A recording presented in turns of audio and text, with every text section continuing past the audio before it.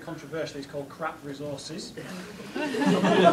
because it centres on the CRAAP scale of evaluating resources. We've aimed it at sixth form with the possibility of first year undergraduate. It's made with a nod in the general direction of top trumps.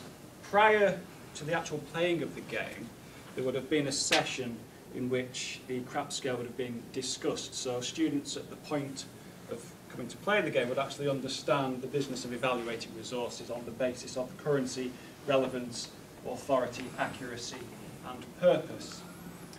The scores on each of the cards don't pre-exist. In that earlier session, the students have actually come up with the scores themselves on a, a basis of consensus. So that would be arrived at through discussion and agreement and a, a, an implicit understanding of why a particular resource should be scored highly for relevance but not so highly for currency. Um, it would probably have about 30 cards in total and the, each of the resources will be very specific and there'll be a broad range so something slightly less uh, reliable you might think wiki answers, that kind of thing, so something more authoritative like a, a peer-reviewed journal article. So the actual playing of the game um, is the kind of fun element really once they've actually had their sort of intensive learning session, if you will, on, on the basis of evaluating resources. Um, the rest of my team will now furnish you with further details on the game. Any that I've left out? Well, one of the things we thought was that the, this, this is the sort of the, the resources list with explanations for what each one is.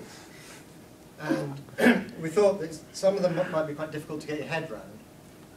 But each one, so say if you take um, currency, when was the information published? Has the information been revised or updated?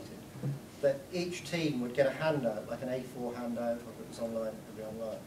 But they could then, as part of the learning process, when they're trying to evaluate, they'd use this sheet to remind themselves of those, this sort of learning process would be going on like that.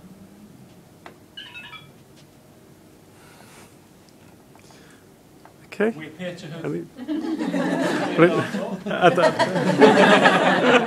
Any Short and sweet. Uh, any questions or comments? No? Thank you.